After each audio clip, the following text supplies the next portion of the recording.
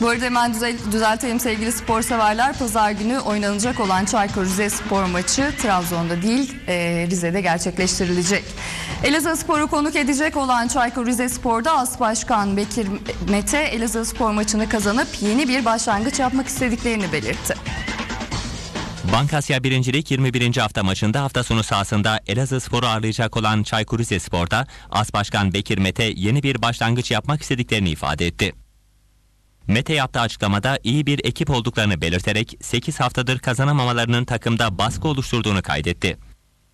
Alacakları bir galibiyette güvenlerini yeniden kazanacaklarını bildiren As Başkan Mete, Elazığ Spor maçının liderle aralarındaki puan farkının kapanması açısından önemli olduğuna da dikkat çekti.